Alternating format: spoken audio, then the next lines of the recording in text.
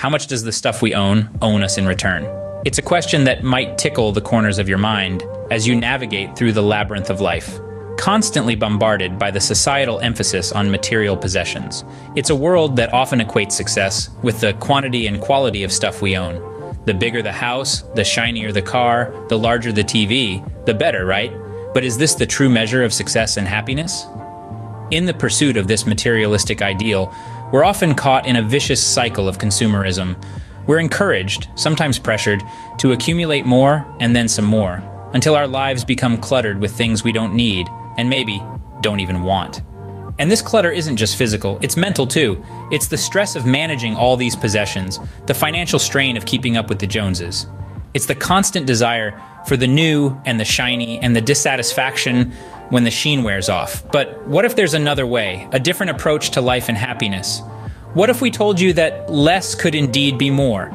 That decluttering your life can lead to a richer, more fulfilling existence. This is where the concept of minimalism comes into play. Minimalism isn't about depriving yourself. It's about making intentional choices about what you bring into your life and what you choose to let go. It's about shifting the focus from possessions to experiences, from the material to the immaterial. It's about finding joy not in things, but in relationships, in moments, in living a life that's aligned with your values and passions.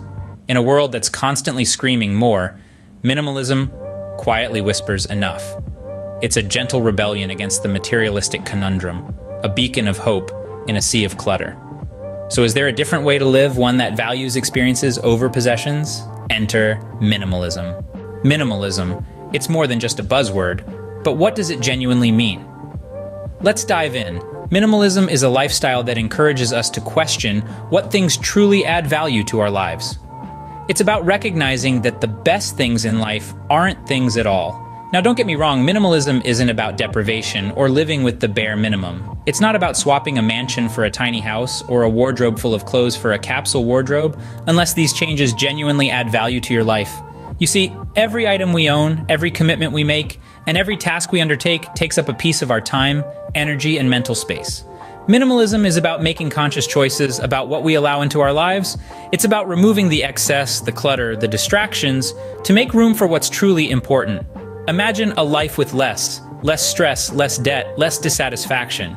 Now imagine a life with more, more time, more peace, more satisfaction. That's the heart of minimalism, the delicate balance between less and more. Minimalism is not one size fits all. It looks different for everyone because it's a deeply personal journey. For one person, minimalism might mean decluttering their home, for another, it could mean quitting a high stress job to pursue a passion. It's not about following a strict set of rules, but about finding what works for you. It's about understanding that the pursuit of possessions often leads to a feeling of emptiness, and that happiness does not come from stuff, but from relationships, experiences, and personal growth. So, minimalism is not about owning less just for the sake of owning less. It's about making space in your life for more of what you love. More time for relationships, more money for experiences, more energy for passions, more peace and contentment. In essence, minimalism is about owning less to live more. So, what are the benefits of owning less and embracing minimalism? Let's dive in. First and foremost, owning less means less clutter.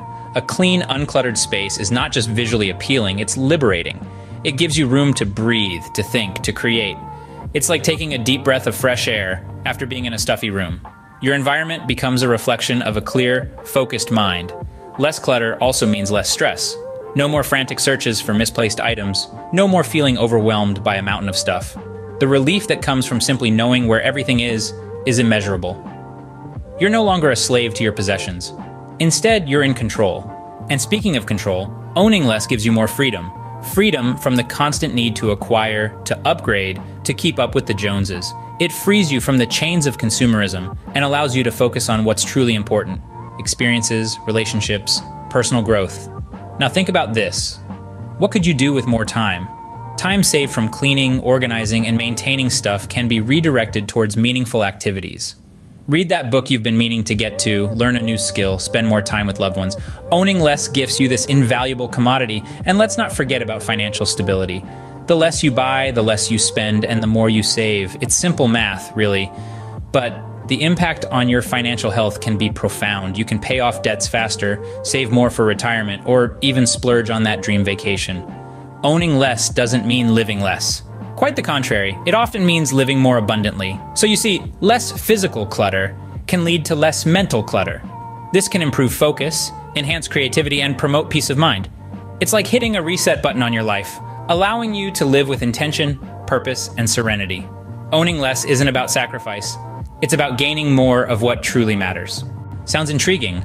Wondering how to start your minimalism journey? Starting your journey into minimalism doesn't have to be overwhelming or intimidating. It's all about taking small, manageable steps to gradually shift your mindset and habits. Firstly, decluttering is a great place to start. Try removing one item a day from your life. This could be anything from a piece of clothing you haven't worn in a year, a kitchen gadget gathering dust, or an old magazine you've already read. You'll soon realize how much stuff you own that you don't really need or use. Secondly, start questioning your purchases. Before buying something new, ask yourself Do I really need this? Will it add value to my life? Can I live without it?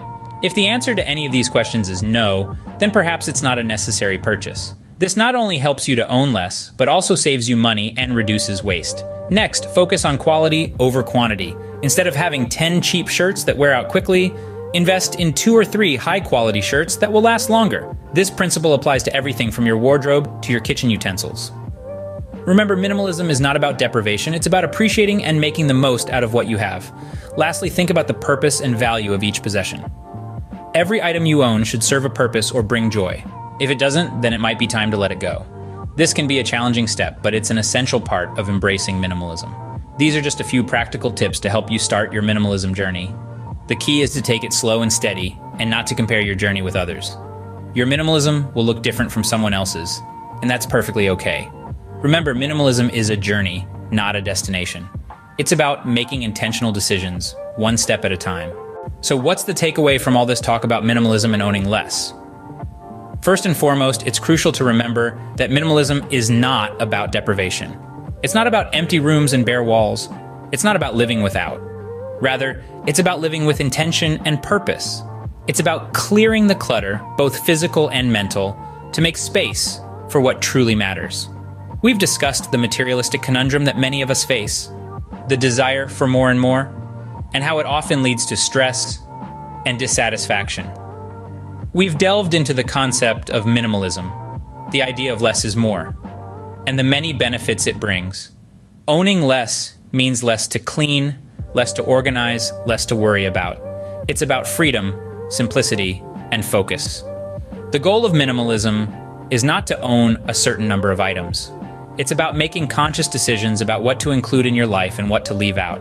It's about focusing on experiences over possessions, the joy of a sunset, the thrill of a new city, the warmth of a shared meal. These are the things that make life rich and fulfilling, not the latest gadget or fashion trend. Minimalism is a journey, not a destination. It's a process of continual refinement, of deciding again and again what is essential and what is not. And remember, there's no one size fits all approach. What works for one person may not work for another. It's about finding what works best for you.